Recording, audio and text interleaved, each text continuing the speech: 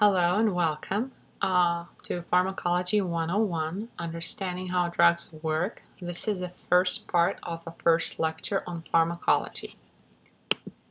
So, by the end of this series of lectures, you will have a basic understanding of drug metabolism. You will learn what are enzymes, what actually happens to the drug when it enters our body, and also you'll have some basic understanding of the anatomy and physiology. So, let's get started. What is pharmacology?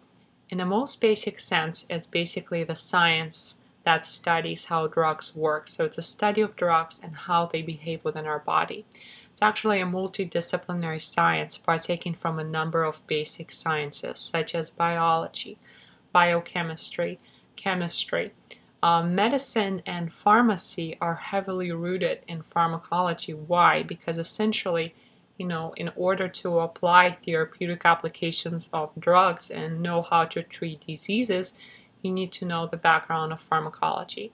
And for you, it's very important because pharmacology could be an important and valuable marketing tool. You probably all heard the saying that knowledge is power, and you probably noticed that when you're talking to people who are true experts in their field, somebody who really knows what they're talking about, these individuals tend to leave a very long lasting impression on you. So perhaps you begin to admire them, perhaps you want to be like them. And in your case, pharmacology is going to be an answer to building a personal rapport with a physician or a client.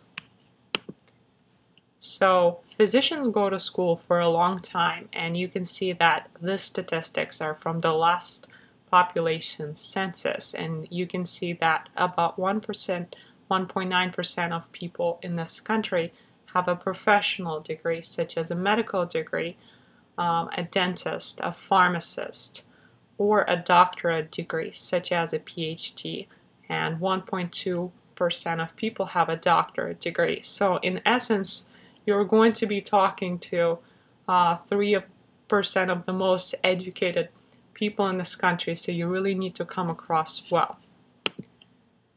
Moving past the traditional role of pharmacology that focused on drugs which were chemical entities, pharmacology also now studies biologics.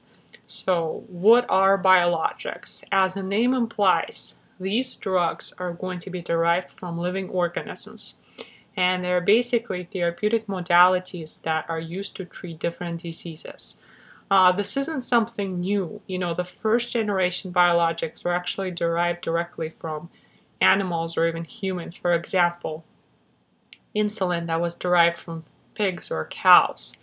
And now we are a little bit more sophisticated, so the biologics are actually made using a recombinant DNA technology. So here we have a biologic drug that's called Humira, and we'll be talking more about this drug in electro and rheumatoid arthritis, but basically this specific drug, it's a first fully human monoclonal antibody, and what it does, it binds to this biochemical uh, molecular entity in our body that's called TNF factor alpha. And TNF factor alpha is basically a marker of inflammation. It's a cytokine that's involved in inflammatory processes in our body. And if you know anything about rheumatoid arthritis, you know that inflammation is a big problem in rheumatoid arthritis in the joints. So by binding to TNF factor alpha, Humira virtually um, blocks its actions, so it prevents inflammation from occurring. And pharmacology studies all of this, which is fascinating. So now under the umbrella of pharmacology, we have a number of different sciences and you should be aware of the differences. So pharmacokinetics uh, is going to study what happens to the drug within our body. Pharmacodynamics is going to study how does the drug affect our body. And pharmacogenomics is going to study how does our genetic makeup affect the drug response. Now, the reason why this is so important is because now with the advancement of medicine and technology, actually have an understanding that based on your genetic makeup or based on which alleles of the genes that you have, you can produce different drug response. So, you know, different alleles encode for our hair color or our eye color. And likewise, they encode for enzymes that metabolize drugs. For example, opiates are going to be metabolized by a family of enzymes. And now we know that for opiates, they're normal metabolizers, they're poor metabolizers, and they're ultra rapid metabolizers. And not too long ago, there was a story that was published, and it was also published on the FDA website, talking about a mother who was an ultra rapid metabolizer for opioids who was breastfeeding her baby.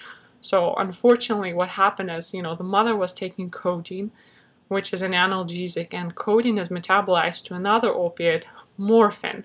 So the codeine that she was taking was ultra rapidly um, converted to morphine, and her baby that she was breastfeeding was exposed to it and passed away. And this is how gen uh, genetics can really play um, a role in pharmacology, and that's what pharmacogenomics studies.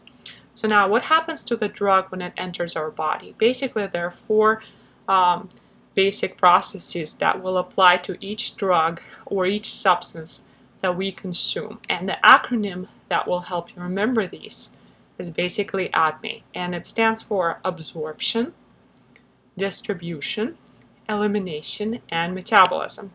Absorption basically describes the event when the drug enters our body, when it gets released from whatever dosage form it came in, for example, a gelatin capsule or a control release tablet, and then it becomes absorbed into the bloodstream. Distribution is exactly what it sounds like. So basically, drug enters systemic circulation. From the systemic circulation, it's going to be distributed to other parts of the body. During metabolism, drug is going to be processed and altered in some way. And then during excretion or during elimination, the drug is going to be eliminated. So before we talk about distribution, uh, let's make sure that we understand where does a blood, uh, where does a drug actually go once it gets into the bloodstream? What is this bloodstream and what happens to the drug? So let's review um, the basic circulatory system. What is circulatory system?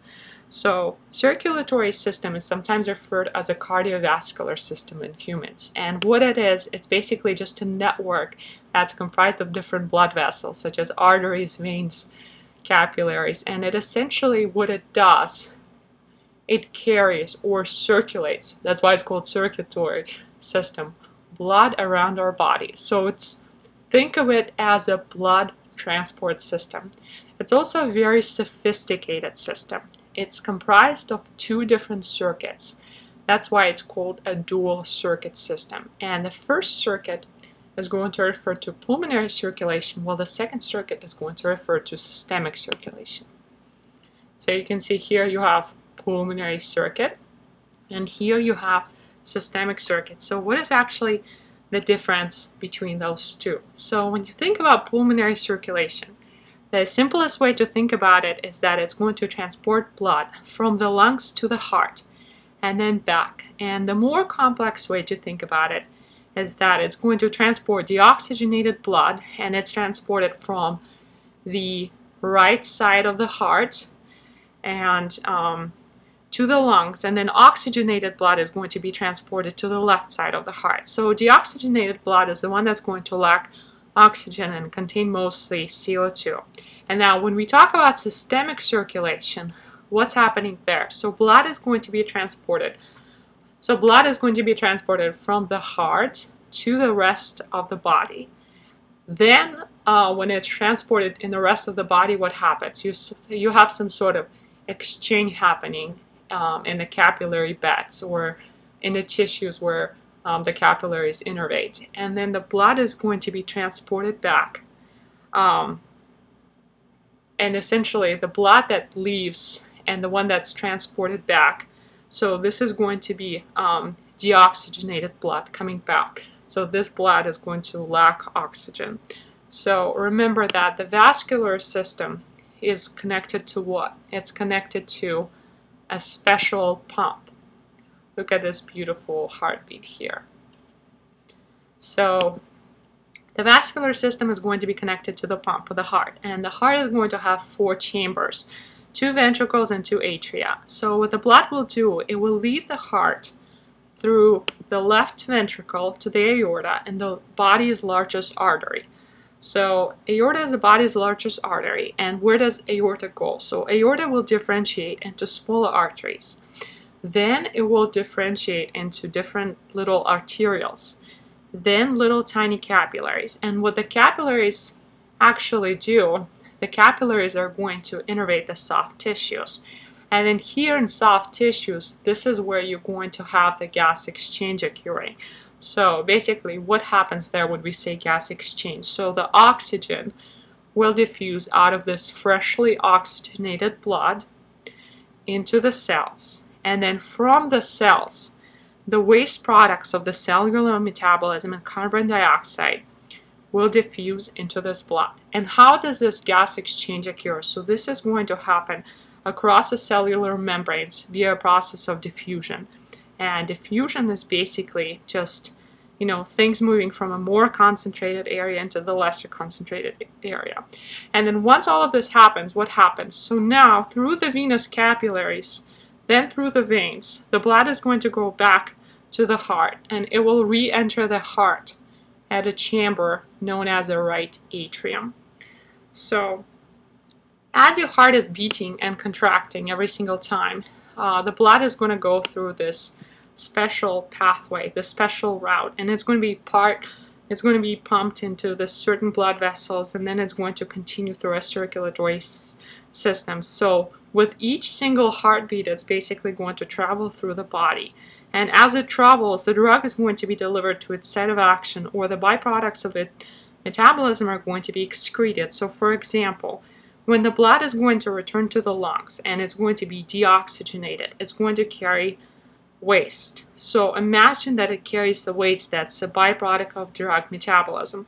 So this is a principle behind detecting alcohol in your breath for alcohol breath, breath tests. So when the police officer pulls you over and they're testing your breath for alcohol, what they're actually testing for is they're testing for the products of alcohol metabolism that are present on your breath in the expired air.